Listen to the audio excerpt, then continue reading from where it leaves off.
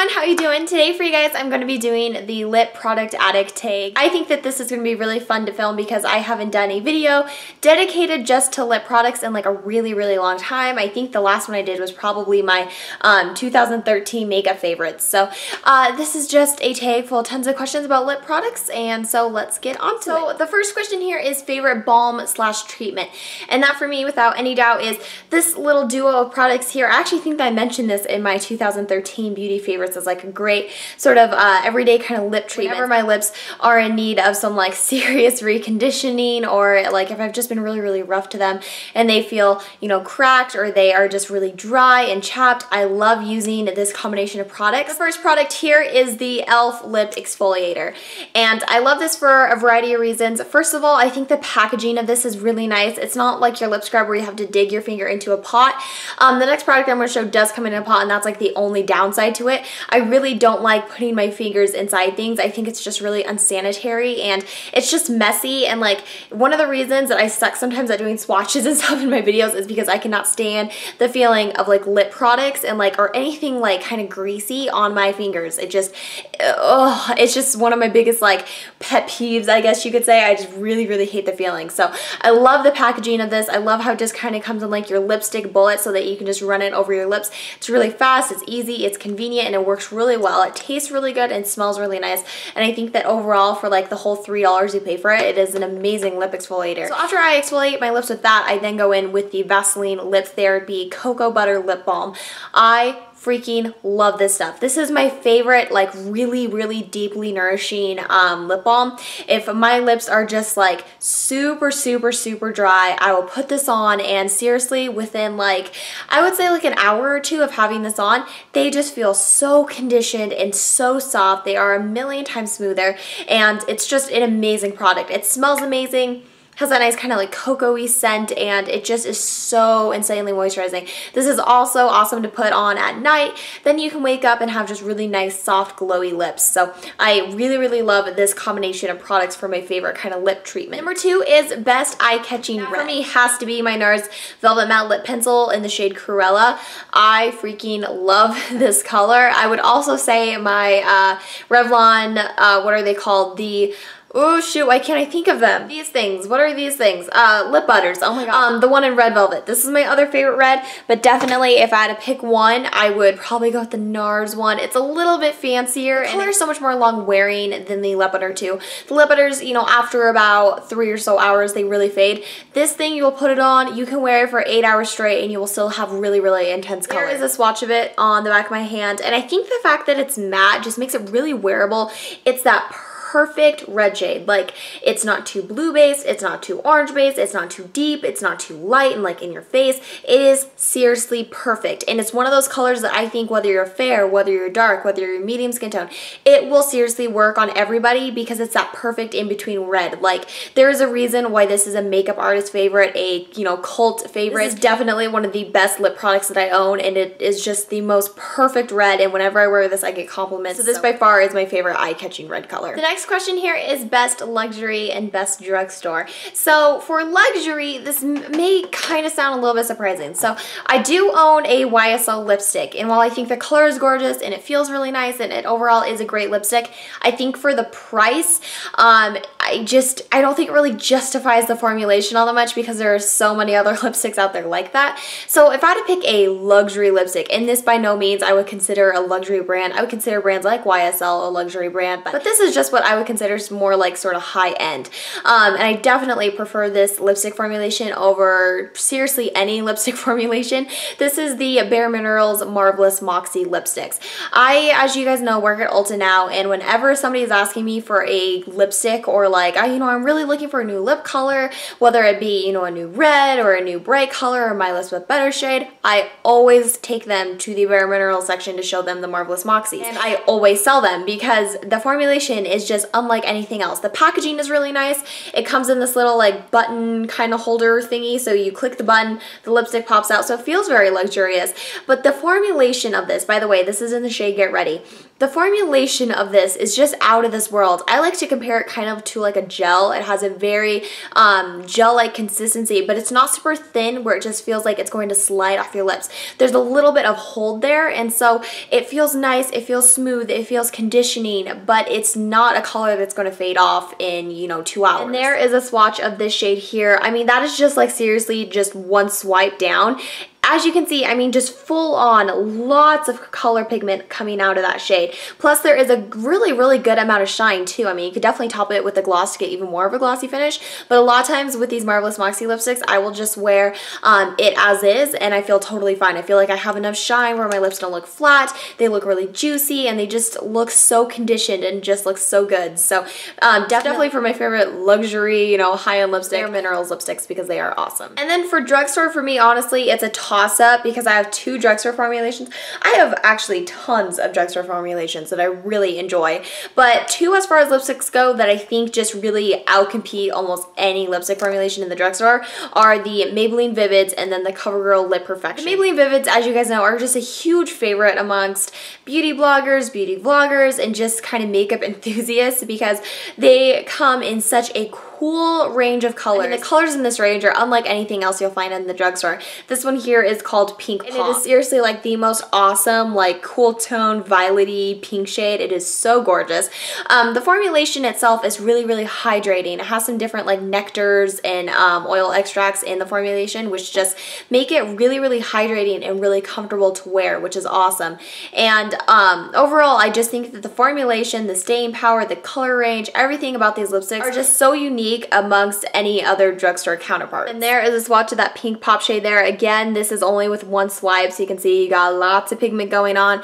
Um, it's not as shiny as the Bare Minerals color, but there still is a good amount of shine in these lipsticks, and they just work so, so well, and they're just so amazing. And then the CoverGirl Lip Perfections, I think that these are actually supposed to have some type of a um, ingredient or some type of a quality to them where over time, if you wear them for like a week consecutively or something, they're supposed to actually improve the condition of your lips. I don't stick with a lip color to a point where I use it for like a straight week, so I haven't been able to really test that out. But I think that the color range of these lipsticks are awesome.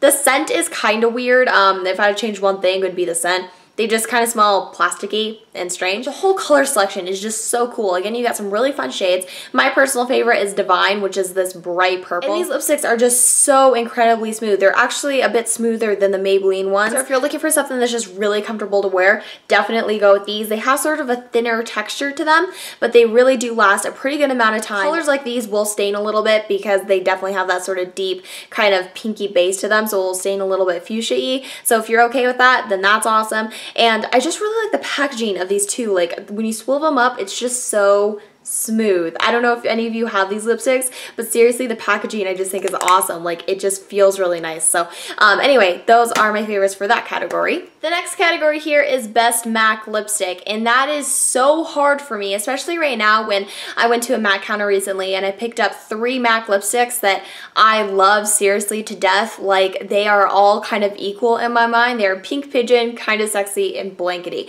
But if I absolutely had to pick one that I think I wear the most and the one that I enjoy the most, it would have to be Blankety. Um, but don't get me wrong, Kind of Sexy and Pink Pigeon, those ones I've recently picked up too, are like right up there.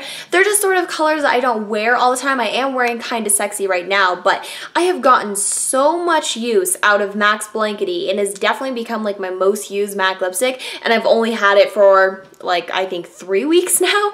It is just the perfect lipstick to layer with anything and I'm not a person who likes to layer their lipsticks.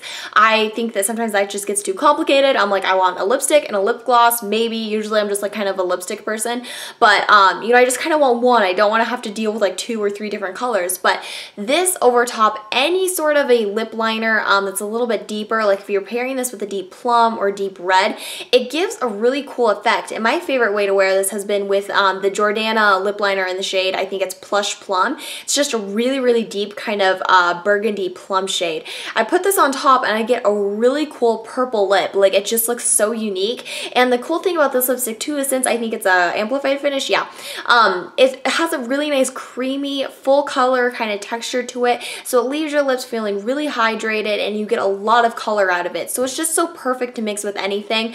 And by itself too, it is just beautiful. It's like this, um, I don't know, I'd say it's kind of like a mauve nude shade. It looks very boring, like I'll be real, but it is so pretty. It works so well. It's one of those lipsticks you can just throw in your bag. Like I said, you can mix it with anything. You can wear it by itself. It just looks gorgeous. So I am really, really loving this lipstick lately and is definitely my favorite from MAC. The next question here is the most disappointing. Um, that's very general. I think that because the question before it was best MAC lipstick, this means the most disappointing MAC lipstick. I don't know if it's like any lipstick or just MAC, but I will show you a MAC shade because I think that that's what it's trying to get across here. Um, this is MAC's Sandy B. This was a shade that I thought I was going to wear so much because I saw um, some beauty blogger mention it on her blog and I thought that it looked gorgeous. It's like uh, kind of a peachy pink. It is a frost, so it does kind of have that frosty tone going to it, but there's just a lot of warmth to the shade, but you got that sort of like slight tinge of pink, which I thought made it look really, really pretty. And there was a time when I was obsessed with colors like this, you know, Mac's Nymphette, this kind of shade, those really pretty peachy pink shimmery colors, but this lipstick is just so drying and the frost finish is just so unforgiving and like just really I, to be honest, it's really kind of ugly looking. Um, it just settles into every single lip line you have and even the ones that you didn't think you had. And like I said, the finish of it is just so unforgiving. There's a swatch of it. You can see really, really pretty. And when you swatch it, it looks like there's going to be a lot of shine coming out of this color. But in all reality, the lipstick is actually very matte. All that is just the frost. So when it goes on your lips, that frost just settles into every single line, like I said. And it just makes your lips look so dry and just so chapped. And so you don't really get that pretty pretty peachy pink color, you just get this really like bad, horrific chapped lip effects. So this is by far the most disappointing one that I've tried and um, it's not a lipstick that I get a whole lot of use out of. The next question is liner, yes or no? Um, I would say that it really depends. Honestly, like uh, with this lipstick that I'm wearing today, Mac's Kinda Sexy, I don't wear a lip liner because it's really light.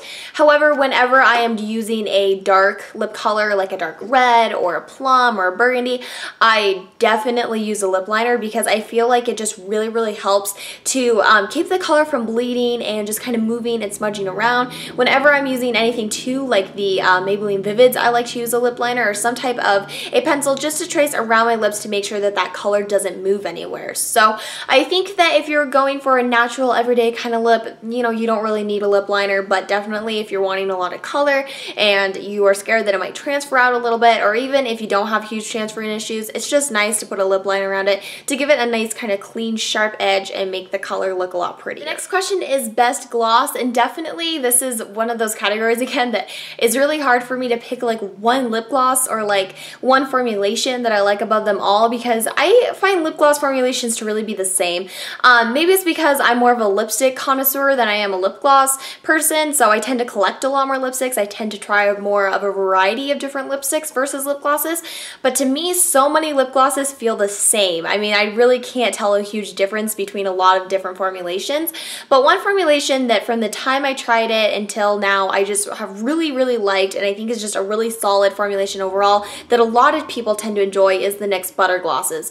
Um, I know that so many people rave about these. I mean, there's people that have like the entire color collection, and I can totally understand it because first off, they smell amazing. I mean, you open them up and they smell like a bakery. This one here is in um, the shade Vanilla Cream Pie, and it is my favorite favorite pink of all time. It's just the most beautiful, um, perfect, you know, neutral kind of pink shade. It is just so gorgeous. There's a swatch of it there. And as you can tell, I mean, when it hits the light, you just get so much shine out of these and you get such a beautiful color effect that I just think that these glosses are so flattering. And because they all have cream finishes, they're going to work very, very well on more mature people. They're not going to settle into lines. You're not going to get that weird effect where after it starts to wear off, you get little glitter or little shimmer specks all over.